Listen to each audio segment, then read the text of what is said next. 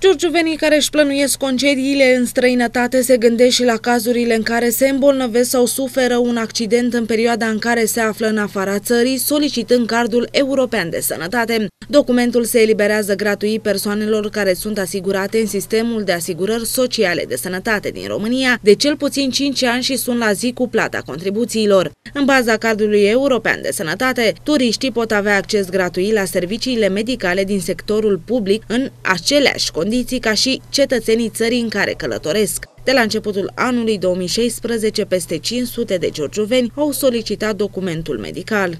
De la începutul anului 2016, un număr de 525 de persoane au persoane asigurate, bineînțeles, au solicitat, uh, au solicitat uh, eliberarea cardului european de sănătate.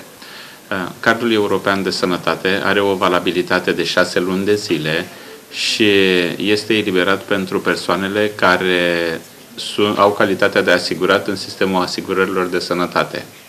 În spațiul Uniunii Europene, posesorii cardului european de sănătate beneficiază de serviciile de urgență, iar pentru afecțiunile mai grave, afecțiunile cronice, sunt uh, direcționați către România pentru a-și primi tratamentul și medicația specifică.